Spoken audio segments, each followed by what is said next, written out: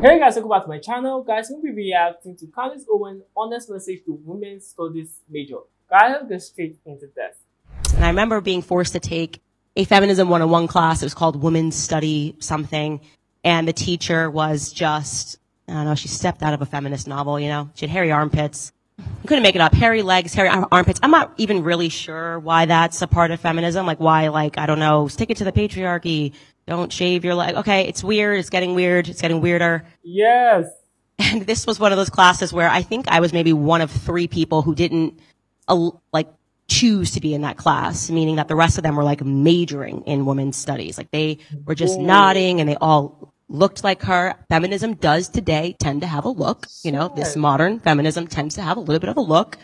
And part of it is believing that you shouldn't have to be attractive and men created that. And that is exactly what I was being taught in this feminism class that basically virtually every system, uh, in the world was created by men. And anytime women felt subjugated, you could always point to men. And she would talk about topics like, you know, I mean, a little bit of anything. She could have lost her keys in the morning and my professor would have been like, you know, who created the key? Hmm?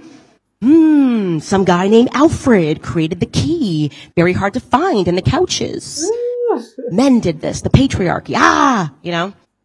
Patriarchy just hiding behind everywhere at all times. Yes. And I remember sitting in this class just thinking it was kind of weird because while I did really want to be a feminist because the word felt so good and it felt so powerful, I just didn't think it was plausible that every single thing that women were living through could be traced back to men. And there was this one class where we really got into it me and the professor, she hated me because I was always, even though I was a liberal, I was still Candace Owens, meaning that like I liked to just prod the narrative. You know, I just, I want to learn. I'm actually, if anything, I'm just really curious about things. I'm really curious and you can make a lot of people angry just by being curious. Just by asking questions. Suddenly they freak out and a defense goes up and you're being called a name.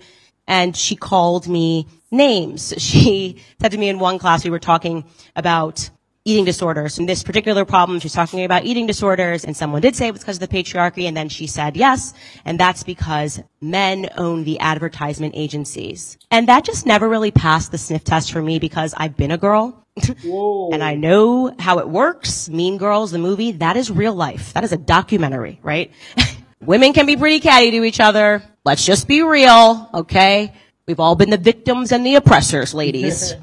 It's, just the way women were wired more for gossip and we're just not that nice to each other in those angsty teenage years, I would say. And it's really because women are, are really insecure and kind of offsetting it. And so I just didn't, I was going, mm, no, a lot of mean girls, a lot of mean girls in the world.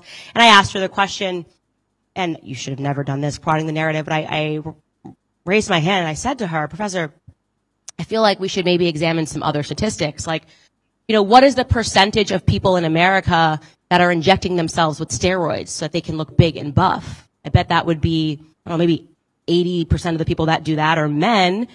And would that mean that it's because of women? Because of the matriarchy? Wow. Her jaw hit the floor. Who could ever say matriarchy? Who could ever even suggest that women have done anything wrong ever? Women have never, ever, ever been wrong. This was like the early hashtag believe women, right? It was happening in this classroom. Like, and I just kind of pushed back. I was like, you know, I'm not, I'm not trying to insinuate anything. I just think that we should be thinking a little more critically here. Everything can't be the fault of men. And she said to me, Candace, it, it feels like you were sent to me from the men's department. I will never forget that line because it's such a wacky thing to say. And by the way, oh. why isn't there a men's department? There's a women's studies. Why isn't there a male studies department if we want to talk about equality? You know? Yeah. But I didn't say that. I said to her, ma'am, I feel like I genuinely was just sent to you from the common sense department. And I'm certain she never forgot that. Mm, mm. To be honest, even if I am wrong, and as a professor you tell me that, I will feel you. God, this is good. Like, I love the fact that she talks on wisdom, and this is something I love about her, Charlie Gate, and Jordan Peterson. Like, I love listening to people like this, people that are realists. Like, they talk based on life and based on the truth. So I feel there's always the truth, and there's no way you want to sugarcoat it. Like, the truth is the truth. There's there's nothing you can do, but like the truth will always stand, and the truth will always prevail, and the truth is bitter. And for me, I believe feminism is equal rights between men and women, and I believe this day it's there. To be honest, and I even think women get it easier than men. To be honest, women get a lot of things easier than men. Let's not start counting. And men lives are not that easy and cool the way women think and perceive it to be. But like I honestly feel like uh, Candace Owens have done a lot for the culture, based on the fact that she have she's educating women to understand that you're not being bullied or anything like that. The same way she's educating black people to understand that they are not the victim. Like it happened, but let's get over it. Like we are free now. Let's take good use of our freedom.